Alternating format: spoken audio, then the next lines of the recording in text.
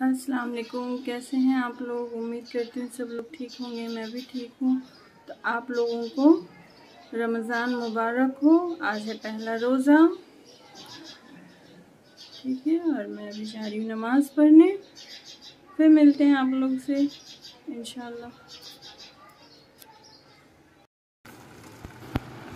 यहाँ पे कर रही मैं इफ्तार की तैयारी। ये देखिए यहाँ पे बोनलेस चिकन है। इसको अदरक लहसुन की पेस्ट में और नमक डाल के इसको हम लोग बॉईल कर रहे हैं। और यहाँ पे ये देखिए चना फुला के रखे हैं और चने का दाल पकौड़े के लिए।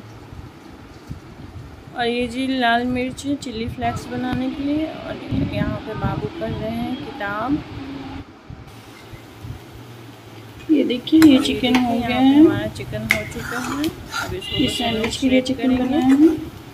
अब इसको हम लोग श्रेड करेंगे, ठंडा जब हो जाएगा तब। तो। इसमें पानी बिल्कुल भी नहीं है देखें बिल्कुल अच्छे से गल चुका है ये देखिए। मैं आपको दिखा रही हूँ। ये देखिए, हल्का सा इस तरह करने से टूट रहा है। इससे आसानी से श्रेड भी हो जाता है। यहाँ पे मैं बनाने जा रही हूँ चने के दाल का पकौड़ा। ये देखिए, दाल सोक्ड किया हो उसमें लहसुन और हरी मिर्च डाल के हम लोग इसको ग्राइंड कर लिए हैं। और ये देखिए, इसको निकाल के इसमें बारीक कटा हुआ प्याज, धनिया पत्ती डाल लिए। और ये जी, हमारा पकौड़ा तैयार हो गया। ये देखिए, यहाँ पे हम लोग, हम आपको पूरी तरीके से नहीं दिखा पाए क्योंकि मेरे पास स्टैंड नहीं है। और ये हमारा अवतार है आज का।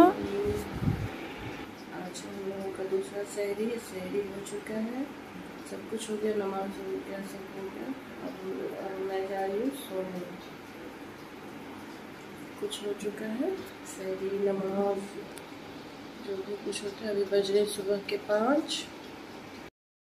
यहाँ पे बाबू सो रहे हैं, ये देखिए। मैं आपको दिखा रही हूँ। नमाज़ पढ़ चुकी है, सब कुछ हो गया है। अब हम, मैं सोने जा रही हूँ। Love Hafiz.